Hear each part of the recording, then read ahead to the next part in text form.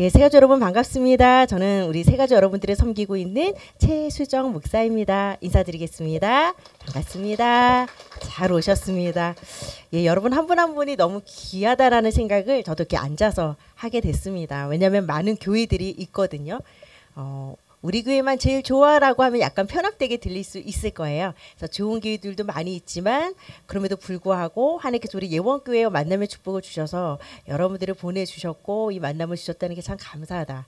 그래서 그냥 주신 만남이 아니기 때문에 어, 저도 또 최선을 다해서 우리 또 교육 말씀 또 전하도록 하겠습니다. 아, 여러분들 우리 이렇게 들어오시다 보면 이렇게 핑크색 옷을 입은 자켓을 입은 우리 사역자 분들이세요. 이분들은 돈 받고 일하시는 직원이나 월급 받고 일하시는 분들이 아니라 똑같이 우리 예원교회 성도님들이신데 우리 세가족 여러분들 또 이렇게 잘 훈련 받고 교회 안에 잘 뿌리내리도록 세상 말로 하면은 정말 자원봉사 하시는 것처럼 와서 도와주시고 계세요. 그래서 여러분들이 혹시 주차나 또 궁금한 사항들 있으면 어, 또 우리 뒤에 사역자들 앉아 계시니까 나가면서도 질문해 주시면 필요한 부분들 도와드리도록 하겠습니다. 어, 제가 늘 말씀드리지만 어, 우리 세가족 사주 교육반은 여러분들이 최종 목적지는 예배 자리에 이제 앉으시는 거예요. 그래서 우리 정 정자 은자 정은주 담임 목사님 어, 그 예배의 말씀을 듣기 전에 사주교육반을 거쳐 가시다 보면 기초적인 부분도 제가 이렇게 조금 터치해 드릴 거고 또 교회에 대한 전반적인 설명도 해드릴 거기 때문에 여러분들이 아직은 낯선 예원교회를 이해하시는데 조금이라도 영적인 길라잡이가 될 수 있을 것 같아서 어, 되도록이면 사주교육반에 오셔서 이렇게 교육받는 것을 권해드리고 있는데 선택이세요. 너무 싫으면 안 오셔도 괜찮아요.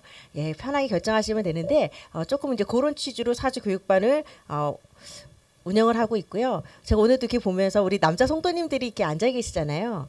우리 보통 교회는 한 60%? 60대 40 정도로 여자 성도님들이 조금 많으세요. 어느 교회는 한 70대 30 정도로 해서 대부분 어, 기독교 교회 안에 보면 여자분들이 많으세요. 여자분들은 어, 우리가 이제 좀 이렇게 감성이 발달돼 있잖아요. 그 열정도 있고 또 믿음도 굉장히 좀 빨리 성장을 하는 특징이 있는데 우리 남자 성도님들의 특징은 굉장히 이성적이고 합리적이세요. 어, 그건 나쁘다고 얘기할 수 없어요. 하나, 그 하나님이 우리 남자 성도님들에게 주신 캐릭터세요. 그래서 또 좋은 점은 보면 여자분들처럼 막 쉽게 확 믿음이 자라거나 급성장하지는 않는데 굉장히 은근히 이렇게 성장을 하시면서 이거다 싶으면요 흔들리지 않으세요. 예. 그래서 저는 아, 오늘도 이렇게 성도님들 앉아 계신 거 보면서 참 귀하다. 뭔가 하나님이 일단 보이지 않잖아요. 그리고 뭐가 느껴지지 않기 때문에 보이지 않는 하나님을 우리가 믿고 이 자리에 와 있고 또 신앙생활을 시작하고 이런 건 정말 우리 의지가 아니라는 생각이 들었었어요. 제가 하는 이야기도 다 영적인 이야기잖아요. 뭐 하나님, 뭐 성령님, 뭐 말씀 이거 굉장히 우리가 세상에서 나가서 사실 흔하게 듣는 단어들은 아니기 때문에 그럼에도 불구하고 하나님이 선택하신 하나님의 선택을 받은 분들은 말씀이 또 믿어지는 은혜가 있어요. 예. 하나님 보거나 느껴나 아니지만 하나님 주시는 그 믿음이라는 게 있어요. 그러면서 이제 말씀이 들려지기 시작하고 변화되기 시작하거든요. 그래서 아무쪼록 제가 꼭 말씀드리고 싶은 거는 하나님의 선택을 여러분들이 받으셨다는 거. 그리고 오늘 이 만남도 어, 거저 주어지는 만남이 아니라 하나님의 절대적인 계획 속에 또 이 만남을 줄 믿습니다. 잘 오셨습니다. 예, 최대한 저희들이 많이 섬기고 도와드릴 테니까 뭐든지 물어봐 주세요. 예, 저도 제가 설명드리고 말씀드릴 수 있는 선에서 다 말씀드릴게요. 그 모르는 거 있으면 저도 공부해가지고 와서 또 같이 가르쳐 드릴 테니까 신앙의 궁금증들 조금만 풀어드리면 진짜 성장하실 수 있으시거든요. 그래서 저희들이 많이 도와드리도록 하겠습니다. 자, 오늘은 11월 넷째 주기 때문에 저희는 4주차 나가요. 그리고 이제 다음 주 12월 1일이니까 또 첫 주죠. 그때는 또 일과 나갈 거예요. 이렇게 주차에 맞게 과가 강화가 진행되고 있습니다. 자, 오늘 제목은 그리스도인의 변화된 삶. 그리스도인 우리가 보통 예수 그리스도라는 표현을 많이 써요. 그래서 그리스도인은 쉽게 말씀드리면 예수 믿는 사람, 예, 예수님을 그리스도로 믿는 사람들, 크리스찬들 얘기하고 있어요. 자, 그리스도인. 근데 그리스도인이 됐다면 여기서 끝나는 것이 아니라 변화된 삶.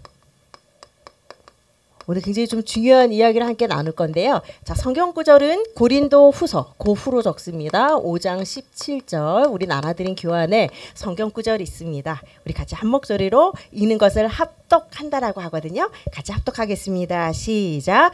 그런즉 누구든지 그리스도 안에 있으면 새로운 피조물이라 이전 것은 지나갔으니 보라 새 것이 되었도다. 아멘. 아, 여러분 누구든지 그리스도 안에 있으면 이제 예수님을 나의 구원자로 믿는 거예요. 그럼 여러분들이 이제 그리스도 안으로 이제 들어오신 거예요. 그럼 새로운 피조물. 내가 엄마 뱃속 들어가서 다시 태어날 수는 없어요. 우리 너무 많이 커버렸어요. 너무 늙어버렸어요. 그런데 새로운 피조물이라는 것은 엄마 뱃속에 태중에 들어갔다 다시 나오는 건 아니라 영적으로 거듭나는 것을 이야기하고 있습니다. 이전 것, 이전에 내가 어떤 삶을 살았건 어떤 가문에 어떤 흑수저로 어떤 실패를 경험했건 상관없다는 거죠. 모든 사주팔자 운명에서 벗어나서 이제 새 것이 되었다라는 거. 어, 그래서 저는 여러분들이 참 축복되다라는 생각이 드는 게 여러분들의 인생을 돌아보실 때 후회되는 일들도 있고 굉장히 마음 아픈 일들도 있으실 거고 또 그리운 시절도 분명히 있으실 거예요. 어, 그런데 이제 우리는 다 지나간 거예요. 전에 내가 어떻게 살았건 그것이 트라우마나 상처로 남았다 하더라도 그것은 이미 지나간 거.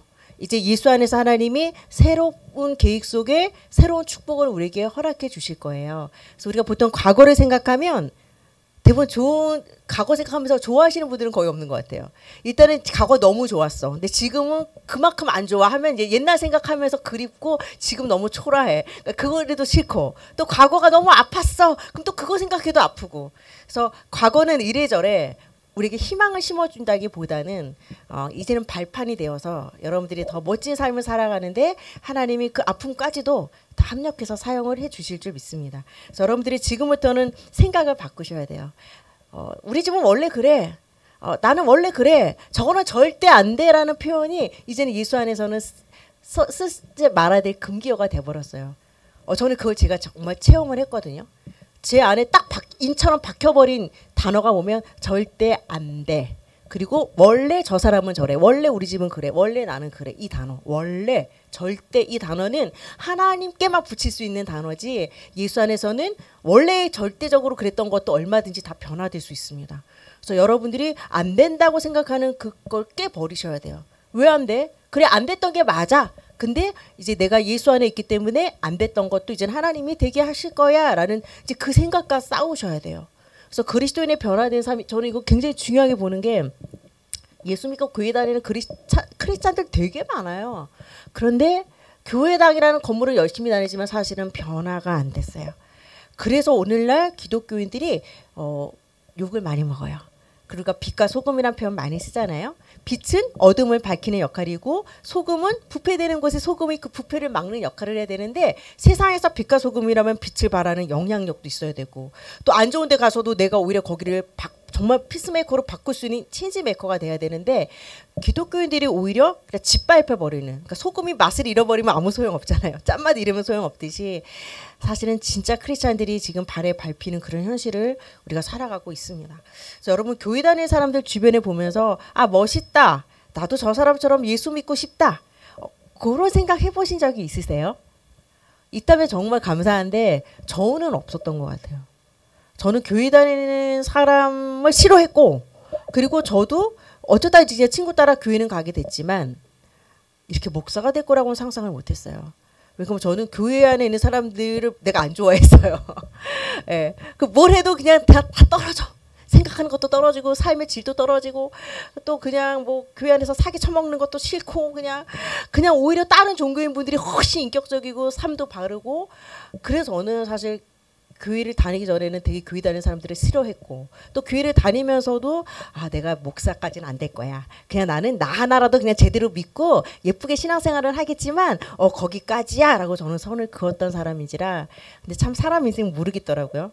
음, 진짜 하나님이 들어서 사용하실 때는 저의 생각 자체를 다 뒤집어 엎어버리고 기경을 하시니까 어 예, 정말 그래서 저 역시 목사가 될 자격이 있어서 이 자리에 서 있는 건 절대 아니고요. 하나님의 은혜로 이 자리에 서 있습니다. 어, 오죽하면 요즘 그런 얘기를 해요. 어, 나 예수는 믿고 싶어. 왜 믿으면 뭐 천국 가고 뭐 복을 받는다고 하니까 그걸 굳이 밀어내지는 않아. 그런데 예수는 믿고 싶지만 교회는 가고 싶지 않다는 얘기를 종종 들어요. 근데 공감이 돼요. 그만큼 교회 다니는 사람들이 오히려 교회에 오고자 하는 사람들을 못 오게끔 막는 역할을 하지 않나. 그러니까 영향을 못 주고 있다라는 그런 슬픈 현실 알고 있습니다. 여러분들은 뭐가 변화라고 생각을 하세요? 어, 예를 들어서 저 사람이 술 담배를 했는데 교회를 다니더니 술 담배를 끊어버렸어. 그리고 막 맨날 이렇게 찌들려 있던 사람들이 표정이 되게 밝아지고 그래서 우리는 되게 외적인 걸 많이 얘기를 해요. 근데 그것도 맞아요. 그리고 뭐 암이 하나 있었는데 어 예원교회 다니더니 암이 떠나갔어. 그럼 우리는 보통 와 저 사람 엄청 변화됐어 라고 얘기를 해요. 그런데 가만히 보면 저는 불교에 다니시는 분도 암덩어리가 떠나가는 걸 난 본 적이 있거든요. 그리고 나름대로 술 담배를 자기 의지로 여기서 금연금주를 하시는 분들도 많아. 교회 솔직히 안 다니셔도. 어 그럼 뭐야? 그럼 변화됐다라는 기준은 도대체 뭘까? 예수 안 믿어도 얼마든지 금연금주 내 의지에 따라서 술 담배 끊어버릴 수 있고 어 다른 뭐 이상한 이단의 사이비에 빠져도 막 이상한 교주가 막 안수 한번 해가지고 막 막 피덩어리 꺼내고 막 암덩어리 꺼내더라고요. 어 그러면은 진짜 변화가 뭐지? 저는 그걸 좀 고민했던 것 같아요. 물론 예수 믿고 저희 집도 아버지가 6개월 시한부 암 위암 판정 받았을 때 하나님이 20년 연장하셔서 이원교회에서 명예장로님으로 신앙생활 하시다 돌아가셨거든요. 그런 기적도 있어요. 그런데 우리 교회 안에는 암 걸려도 암으로 떠나시는 성도님들도 많아요. 그 뭐든지 우리가 질병이 있다가 없어야지 이렇게 변화되고 어, 또술 담배 하다가 끊어야만 그게 변하냐? 그럼 술 담배 안 끊으면 우리는 하나도 변화 안 된 거냐? 아니요. 외적인 변화도 물론 있을 수 있어요. 근데 하나님이 그런 변화를 주는 사람도 있고 안 주는 사람도 있어요. 돈이 없다가 생기는 사람도 있고 질병이 오히려 어, 없던 질병에도 나중에 생기시는 분도 있어요. 그래서 여기서 말하는 변화는 외적인 변화도 물론 중요하지만 영적으로 그리고 내적으로 먼저 변화가 있어야 된다는 거죠. 어, 저는 그걸 꼭 말씀드리고 싶어요. 왜 그러면 실제로 많은 크리스찬들이 교회당이라는 건물은 열심히 다니고 술 담배도 끊을 수 있어요. 난 크리스찬이라 술 안 먹을 거야. 담배 안 필 거야.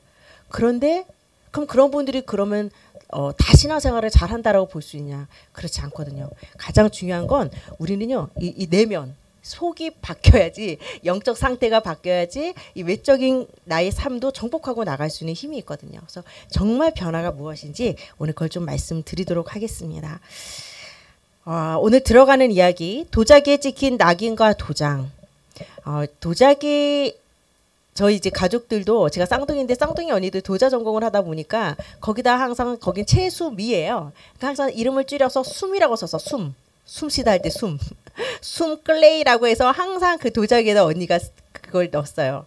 어, 이건 보면 이런 낙인이나 도장을 찍는다는 건 이 작품은 내가 만들었어. 내 작품이야. 라는 걸 증명해 주는 것처럼 여러분 한 분한 한 분은 하나님께서 너는 내 거야 라고 찜을 해 놓으시는 거예요. 그래서 예수를 믿는다는 건 우리가 보통 변화됐어 라고 하는 건 착하고 성실하게 살고 양심적으로 살고 도덕적으로 살면 우리는 와 믿음 좋아 라고 얘기하지만 오히려 불교 다니시고 천주교 다니시는 분들 중에 더 착하고 성실하신 분들이 많으세요.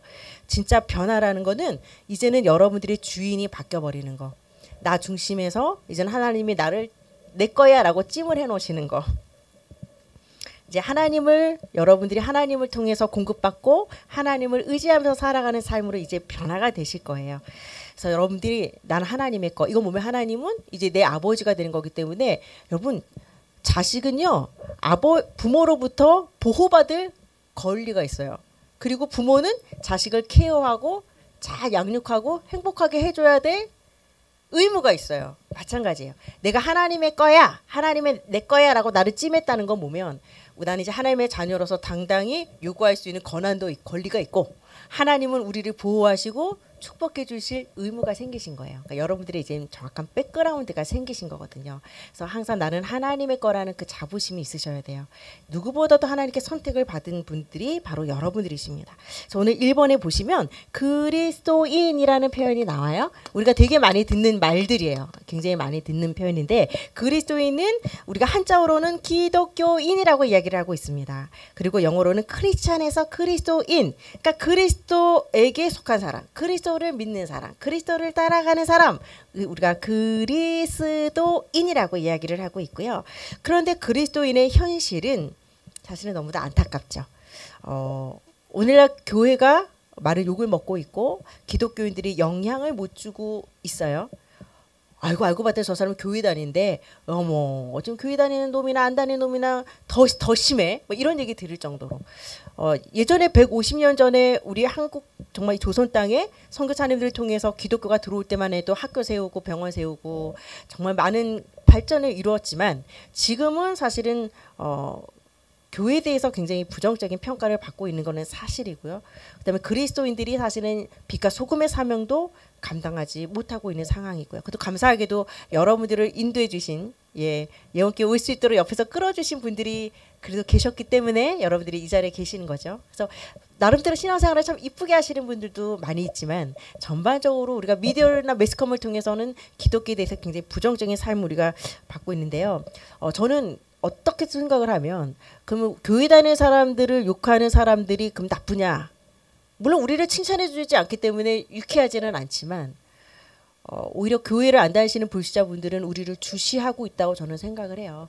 그만큼 기대치가 있다는 거거든요. 아 저 사람이 목사라는 사람이 왜 저래? 아니 장로라는 사람이 왜 왜 저렇게 사기를 쳐먹고 저렇게 사람을 속이고 나쁜 짓을 해? 이 말은 거꾸로 보면 너가 장로라면 당신이 목사라면 그래도 이 정도는 해줘야 되지 않겠어? 라는 우리를 향한 기대치가 있는 거예요. 그래서 사실은 우리가 손가락질을 받는 건 불쾌하지만 저는 이 손가락질을 통해 우리를 반드시 돌아봐야 된다고 생각을 해요. 예. 어, 우리를 탓하기 전에 탓하는 그 사람들은 뭐라고 하기 전에 그러면 우리는 어떻게 살아가고 있는가를 반드시 점검해야 되거든요. 그래서 반드시 예수 믿으면 구원받는 거 확실하고 예수 믿으면 복 받는 거 확실하지만 오히려 먼저 예수를 믿는 우리가 걸어다니는 전도지라고 저는 생각을 해요. 예수 믿으라는 이 전도지를 보고 우리는 믿는 게 아니라 먼저 예수 믿은 사람들 그 사람들이 우리한테는 정말 가장 좋은 전도지라고 생각을 해요. 그래서 저는 이걸 많이 고민을 했던 것 같아요. 저는 솔직히 제 간증을 하면 교회에서는 너무 좋은 얼굴인 거예요. 뭐 다 수용할 수 있어. 막 막 막막 미워 막 저를 싫어하는 사람, 미워하는 사람, 막 힘들어하는 사람, 막 헤매는 사람, 뭐막뭐 뭐 얼마든지 막 다 품어지고 막 기도해주고 막막 힘주고. 근데 여러분 집에 가면요 우리의 모든 민낯이 다 드러나는 거예요. 저를 가장 잘하는 사람이 누구겠어요? 가족들이 거잖아요. 거기서는 그냥 교회에서 받은 스트레스나 사람들한테 받은 스트레스 있으면 집에 와서는 뭐 하겠어요? 막 가방도 던질 수 있고 막 아이씨 막 이럴 수도 있고 막 스트레스를 어디다 풀겠어요.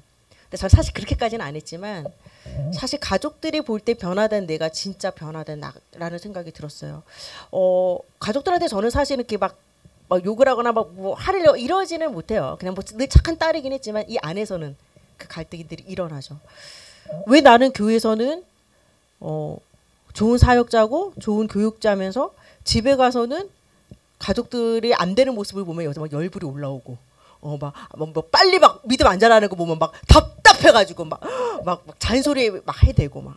남들한테는 어막 뭐 기도하겠습니다 기다리겠습니다. 근데 집에 오면은 막 열다가 올라와가지고 막 어, 여러분 이게 가족들 앞에서는 제일 힘든 것 같아요. 진짜 내 민낯이 드러나지 않아요? 하나님 왜 이 교회 안에 있는 예수님과 집 안에 있는 예수님은 달라요? 아 그다음에 나는 이거 가짜다. 어, 가족들이 봐도 변화되면 나는 진짜 변화된 사람이 맞는데 가족들한테는요 이게요 그러니까 더 간절해서 그러겠죠. 막 더 안타까우니까 그러겠지. 가족들한테는 그게 다 사랑이겠지만 그래도 내가 너무 다르니까.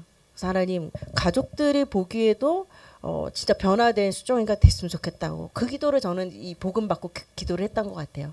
근데 지금도 사실은 잘 안 돼요. 아마 죽을 때까지 하나님 그 부분 저를 훈련을 시키겠지만 그래도 지금은 욱 하고 나오다가도 와 와 와 너 너 이중인격자 되면 안 되잖아. 어. 너가 정말 가족들도 똑같은 한 영혼으로 바라봐주고 기다려줄 수 있는 게 그건 내 훈련이더라고요 하나님이 가족들 문제 이전에 너가 그 영혼을 어 다른 게 아니라 그냥 서로의 틀림인데 서로의 다른 것뿐인데 그걸 틀렸다고 정지하고 기다리지 못하고 아 이건 아니다. 이게 진짜 내 믿음이고 내 상태구나. 그래서 지금은 막 열 번 잔소리할 것도 자꾸 기도 속으로 갖고 갈라 그래요. 어, 내 잔소리보단 정말 기도해 주자 해서 하나님 많이 변화시켜 나가고 있는데 어, 저는 여러분들도 어, 여러분들이 행복해지고 변화되는 만큼 하나님이 여러분들의 모든 가정과 후대를 하나님이 변화시키실 걸 저는 믿어요. 참 희한해요. 하나님의 방법은 가서 그 사람한테 잔소리하고 그 사람을 변화시키기 목적이 아니고 너 먼저 좀 봐. 네 꼬락소리 먼저 봐. 어, 네가 건강한 나무 되면 자녀들은 건강한 열매로 맺힐 거야. 하나님의 포커스는 항상 나 먼저 시작하더라고. 나 그게 너무 싫었어 처음에는. 뭐든지 다 내 탓이래. 아니 백명 붙잡고 물어봐. 다 가족들이 잘못했고 상대방이 잘못했는데 하나님은 항상 내 탓이라는 거야. 나부터 하라는 거야. 어, 나 처음에 그게 너무 억울하고 싫은 거 있죠. 왜 내가 잘못한 거예요? 저 사람이 날 아프겠다고요. 저 사람이 막 이랬거든요. 근데 하나님은 그걸 몰라서 그러지 않아요. 알아. 너가 아파하는 것도 알고 저 사람이 너를 너에게 피해 준 것도 알아. 그런데 하나 나는 지금 너한테 관심 있어. 어, 너가 좀 너 문제를 나한테 맡겨주면 안 돼? 너가 좀 행복하면 안 돼? 나는 너가 행복하길 원해. 너가 저 사람 때문에 원한 품고 아파하는 걸 원하지 않아. 너가 나한테 제발 모든 걸 다 패스하고 너가 행복하면 저 일은 내가 해결해 줄게. 하나님은 항상 그런 방식이신 거예요. 근데 내가 안 행복한 거지. 내가 자꾸 그 문제를 싸매려고 하니까 그게 문제더라고요. 그래서 오늘 사실은 제가 늘 여러분한테 강의할 거 이렇게 한 주간 묵상하면서 써와요. 오늘은 왜 안 쓴 걸 이렇게 떠드는지 내가 모르겠어.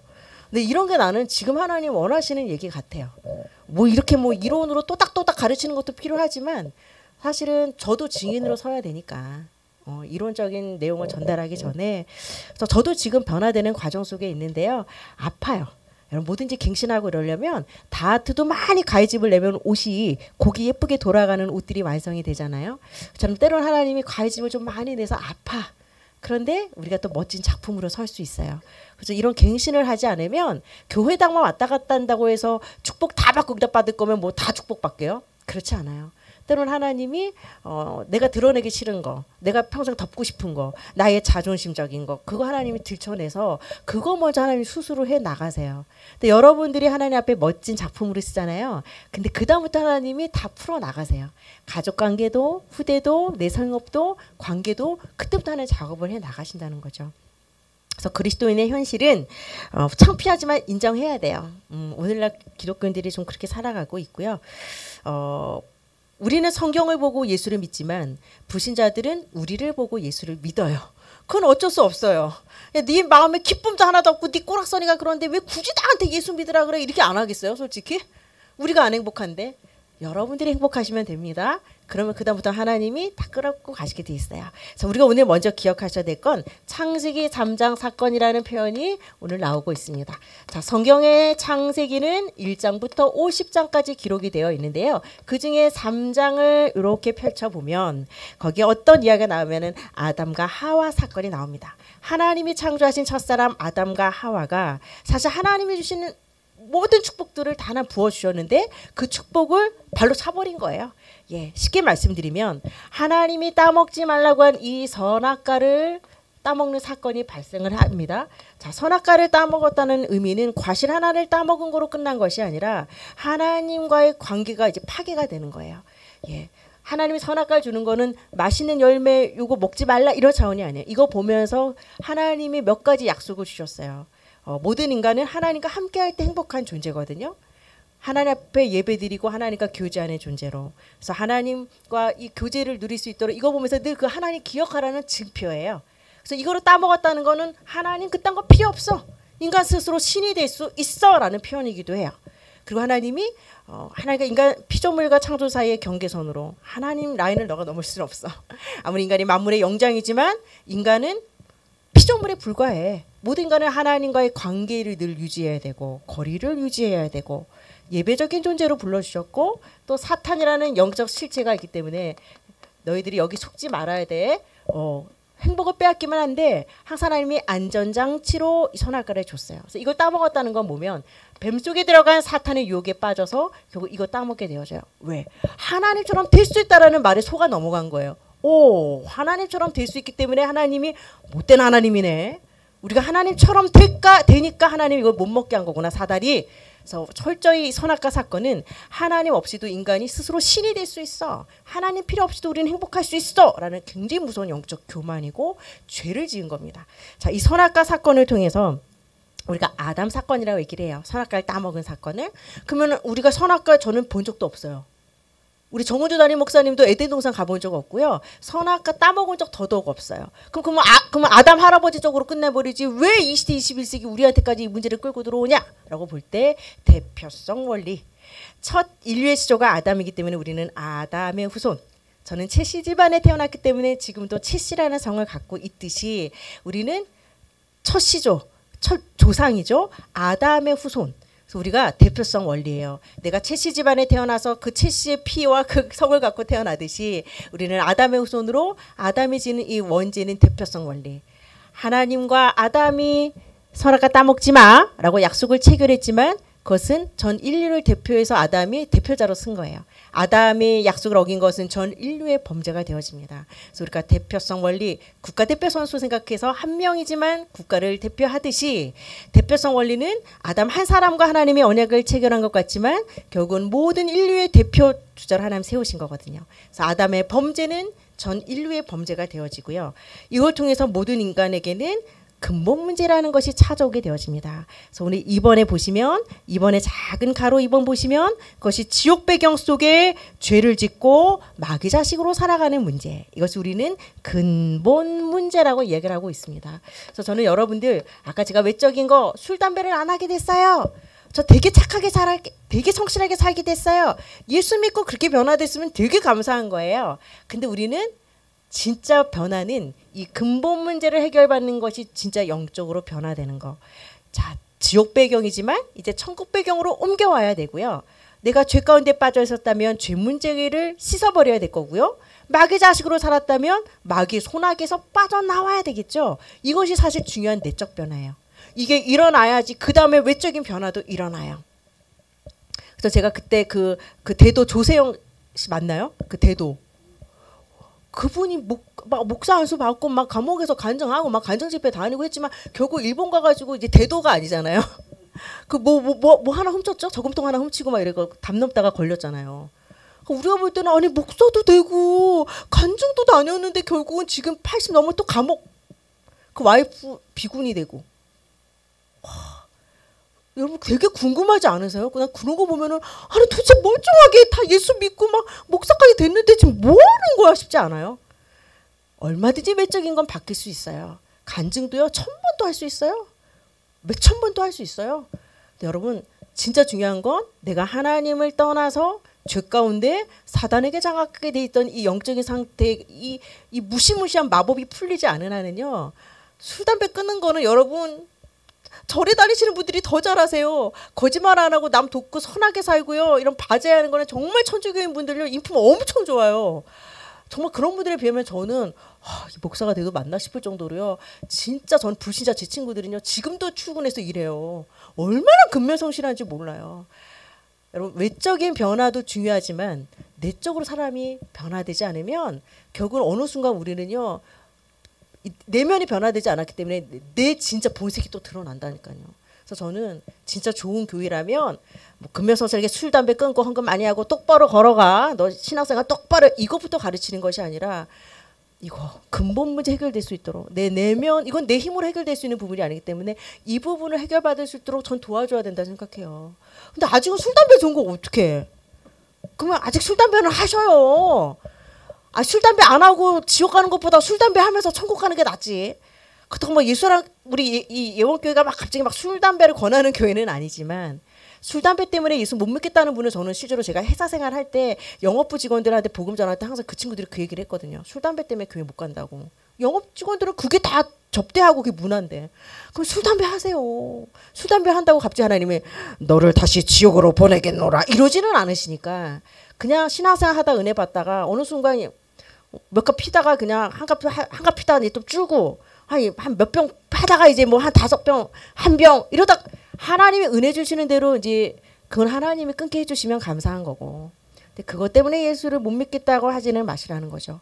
자, 여러분 오늘 중요한 거 아셨어요? 아, 내가 하나님을 떠나서 지옥 배경 가운데 있었구나. 우린 그냥 지옥행이구나. 그런데 죽어서만 지옥이 아니에요. 사는 동안 지옥처럼 살아. 정말 죽지 못해 사시는 분들 너무 많이 봤거든요. 자살하시는 분들은 그나마 그를 용기 있게 실행한 것 뿐이고 나는 차마 그냥 못 죽은 것 뿐이지 자살하는 분들도 사실은 사는 것보다는 죽는 게 더 낫다고 생각하니까 그 결정을 하시는 거거든요. 정말 죽어서도 지옥이지만 사는 날 동안 정말 지옥처럼 사시는 분들 많으세요. 그리고 하나님과 나 사이의 걸림돌처럼 이 죄라는 문제가 덕하니 걸림돌로 있고요. 사탄이라는 영적 실체는 사주팔자 운명 속에 우리를 뒤집어 씌워요. 그러니까 나는 원래 그렇게 살아야 되고 절대 안 변하는 사람으로 살아야 되는 거예요. 근데 이전 것 다 지나갔어요. 저는 예수 믿고 가장 제가 행복했던 게 과거에 내가 어떤 실수 또 어떤 실패를 했건 어떤 트라우마를 가졌건 그건 과거일 뿐이에요. 앞으로도 나, 의 남은 인생이 또 그렇게 살라는 법은 없다라는 게 저는 너무 감사했어요. 그리고 정말 저는 지금 행복하게 살고 있어요. 전에는 무서워서 도전 못했어요. 왜 나는 실패할 거니까. 난 또 질 거니까 도전 아예 안 했어요. 근데 지금은 다 성공하지는 않아요. 어, 또 넘어질 때도 있어요. 그런데 괜찮아요. 지금은 툭툭 털고 일어날 수 있는 용기가 생겼어요.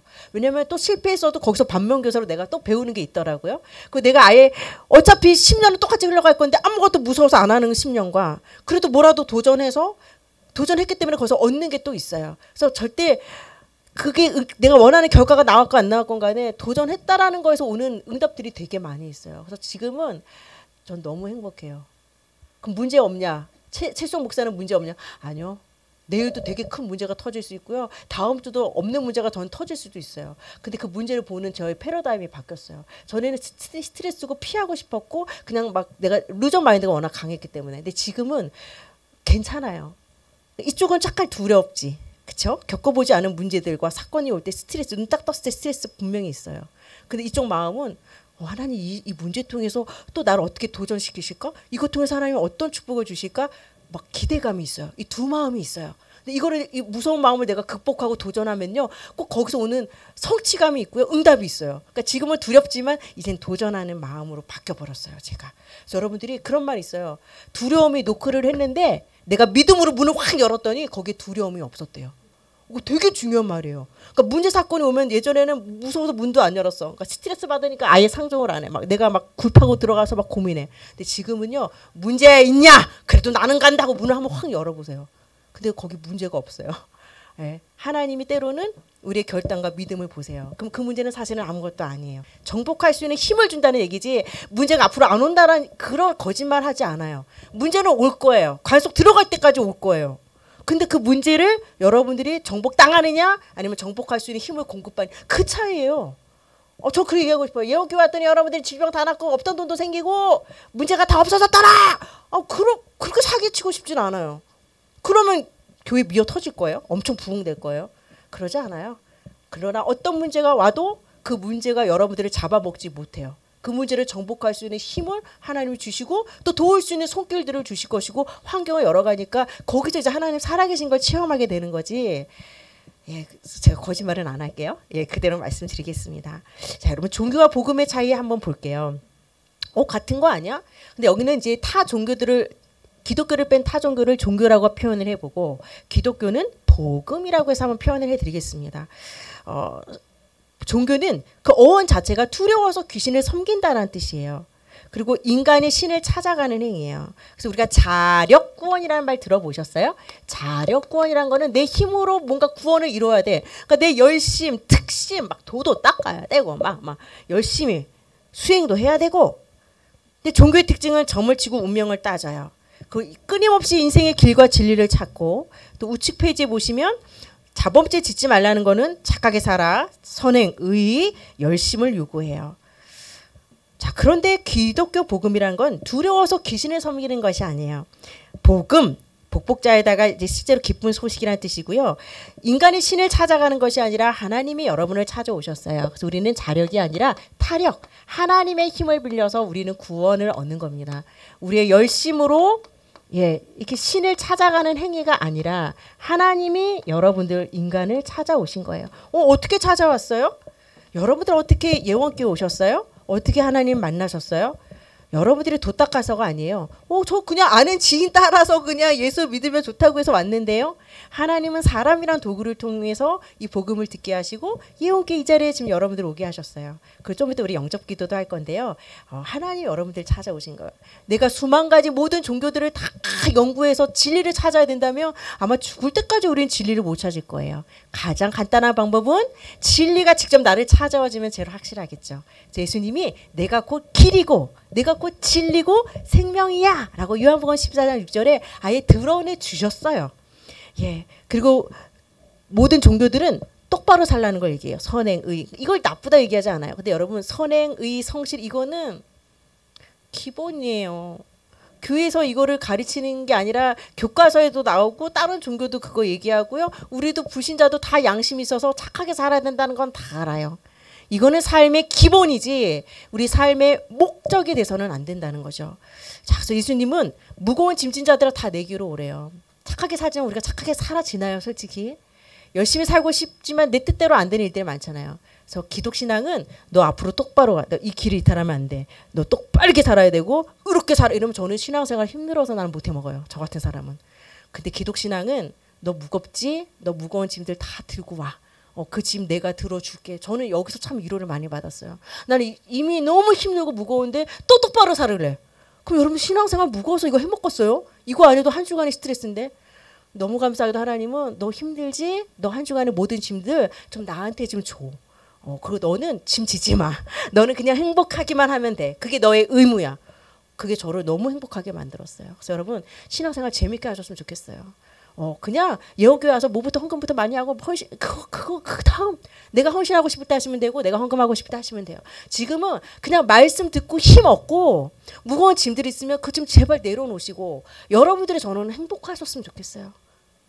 제가 뭐 여기서 뭐 한다고 뭐 여러분들 뭐잘 정착시켰다고 뭐 수당 받고 뭐막뭐 뭐 뭐 하겠어요. 그냥 저는 여러분들이 우리 예원교회 와서 행복하시고 응답 받으면 어 저는 정말 저의 역할을 다 한 것 같아요. 정말 제일 행복할 것 같습니다. 우리는 두려워서 운명을 따지고 점을 치고 두려워서 귀신을 섬기는 자원 아니에요. 귀신 섬겨봤자 우리한테 뭐 복준대요? 아니요. 착한 강도 나쁜 강도 없어요. 강도는 다 나쁜 놈이듯이 귀신도 다 나빠요. 우리에게 복 주고 좋은 거 주는 귀신 없어요. 그냥 두려워서 귀신을 섬기는 거예요. 그래서 부적 쓰고 구스 타고 그래서 큰 귀신 불러다 잡신 쫓아내는 거예요. 그러지 말고 여러분 정말 이제는 하나님 여러분들이 오늘 찾아오셨습니다. 예. 그래서 하나님의 구원의 방법은 예수 그리스도. 예수님이 하신 일은 십자가에 대신 나의 모든 죄를 짊어지시고 십자가에 피 흘려 죽으심으로 이 죄 문제를 해결하신 거예요. 그 예수님이 3일 만에 부활하심으로 사망 권세를 깨뜨리시고 부활하셔서 사탄을 이겨버리셨어요. 사탄은 예수님 십자가에 못 받고 죽었을 때 얼마나 캐제를 부르고 좋아했겠어요. 예수님 부활하셨거든요. 그래서 예수님이 그리스도라는 직분을 갖고 오셔서 요 근본 문제 요거 해결하셨어요. 요게 바로 진짜 변화되는 거예요. 내 속사람 변화되셔야죠. 그래서 여러분 오늘 영접 기도할 건데요. 여러분 지금부터 예수 믿지 않으면 사실 죽으면 그냥 바로 지옥행. 그러나 예수 영접하는 순간 지옥에서 천국으로 옮기게 됩니다. 여러분의 죄 문제 예수 영접하는 순간 십자가의 보혈로 씻어버리시고요. 예수 영접하는 순간 사탄막이 더 이상 여러분들의 인생을 장난질 못 쳐요. 예수님 영접하는 순간 사단의 손에서 빠져나와서 하나님 자녀 될 수 있습니다. 그래서 우리가 영접 예수님을 내 안에 구주로 모셔드리는 시간이에요. 1분밖에 걸리지 않습니다. 그러나 강요는 하지 않을 거예요. 여러분 마음의 문을 활짝 열어주시고 저를 따라서 함께 기도해 주시기 바랍니다. 눈을 감고 손을 모아서 같이 기도해 주시기 바랍니다. 기도하겠습니다. 사랑의 하나님, 나는 죄인입니다. 인생에 어디서 와서 무엇을 하다가 어디로 가는지 알지 못하고 방황하며 살았습니다. 지금 내 마음의 문을 열고 십자가에 피 흘려 죽으시고 부활하신 예수님을 나의 주인으로 나의 구원자로 영접합니다. 내 안에 들어오셔서 나의 주인이 되어 주옵소서. 내가 과거에 지은 죄, 현재 짓는 죄, 미래에 지을 죄까지 십자가의 보혈로 씻어서 용서해 주시고 천국 가는 그날까지 나를 인도해 주옵소서. 이 모든 말씀 그리스도로 오신 예수님의 이름으로 기도 올리옵나이다. 아멘. 잘 따라하셨습니다. 여러분 예수님 어디에 들어와 달라 기도하셨죠? 내 마음속에 너무 잘하셨어요. 여러분 이거 아무나 고백 못해요. 진짜 입을 안 벌려진대요. 나 넌, 넌 장난치는 줄 알았어요. 근데 안 된대요. 아, 마음으로 믿고 입으로 시인하는 것도 하나님이 택한 자들은 영접도 하게 하세요. 여러분들이 영접을 잘하고 싶다고 해서 할 수 있는 게 아니라 우리 하나님 자녀 되신 것 축하드립니다. 자, 여러분들이 이제는 쭉 읽어보시면 돼요. 교회의 축복. 이건 보면 여러분들이 이제 예수 믿고 예, 예원교회도 교회 당이라는 건물이지. 이제 여러분들이 예수님을 모셔드렸기 때문에 내가 걸어다니는 성전, 교회가 되셨어요. 그리고 아, 일곱 번째 보시면 성경의 축복. 여러분 말씀이 자꾸 들어가면요. 내 기질도 내 성향도 내 믿음도 어, 이런 피해자 의식 갖고 있던 트라우마 상처들도 하나님이 아 내가 피해자가 아니라 나도 누군가를 아프게 했던 가해자가 될 수 있구나. 모든 상황들을 볼 수 있는 패러다임이 조금씩 바뀌어져요. 오늘은 내적인 변화가 먼저 일어나신 거고 이제 말씀을 통해 외적인 변화도 일어날 겁니다. 뒷장에 보시면 기도하시면 여러분들이 이제 응답받을 수 있는 특권이 주어졌어요. 엄마 아빠에게 자식이 요청할 수 있듯이 하나님 앞에 요청할 수 있으면 하나님 이제 기도에 응답하시고요. 아홉 번째 예배의 축복. 이건 우리 사주 교육의 존재 목적입니다. 사주 교육 이후에 이제 수료하신 분들은 예배의 축복 속으로 연결이 될 거예요. 아, 그리고 10번 헌금, 11번 찬양, 12번 봉사와 헌신. 굉장히 중요한 거고요. 13번째 말씀. 어찌됐건 말씀을 들을 때 여러분들이 군인이 훈련받듯이 여러분들이 말씀으로 무장되고 믿음 성장할 수 있습니다.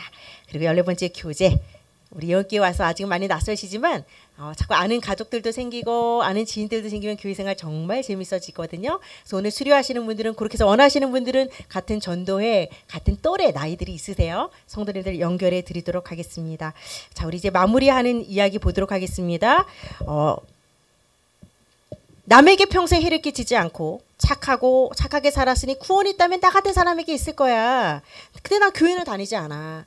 자, 착함으로 우리가 구원받는 것이 아니라 죄 문제 해결받은 사람, 사탄의 손에서 빠져나온 사람, 지옥병에서 천국병으로 옮겨온 이 근본 문제 해결받은 사람이 구원받을 수 있습니다. 착함으로 따지면 부신자가 더 착하겠죠. 그래서 우리는 착한 사람이 구원을 못 받는 것이 아니라 죄 문제 해결받는 사람이 구원받는다. 오늘 기억하시면 될 것 같고요. 아무쪼록 여러분들 이번 한 주간도 하나님의 자녀라는 정체성 꼭 기억하셔요. 예, 그래서 영향력 있는 삶으로 늘 변화와 성장하시기를 주님의 이름으로 축복합니다.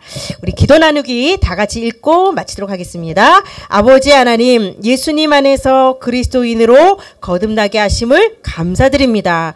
하나님 자녀의 신분에 걸맞는 삶을 살게 하시고 날마다 성장하는 믿음을 주옵소서. 이 모든 말씀 그리스도로 오신 예수님의 이름으로 기도 올리옵나이다. 아멘. 수고 많으셨습니다. 감사합니다.